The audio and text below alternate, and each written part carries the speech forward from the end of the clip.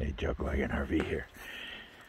And we're taking Falcon out for a little stroll in the pasture. Kai will be out in a minute.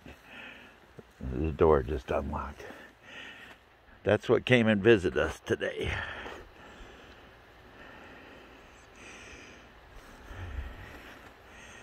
Let's see if I can see this. Falcon, get over here. He wants to go play.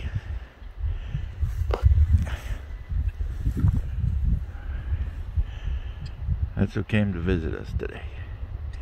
This morning.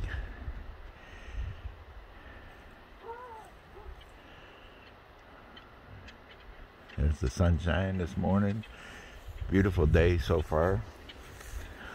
A lot of cows, a lot of, I don't know what those things are. and there's the camp. Well, we've been here close to uh, a week or so, a little more than that. It's uh, we're on top of the hill. It's uh, 7,000 feet. After this, we go into the plains of South Dakota, headed towards uh, Michigan.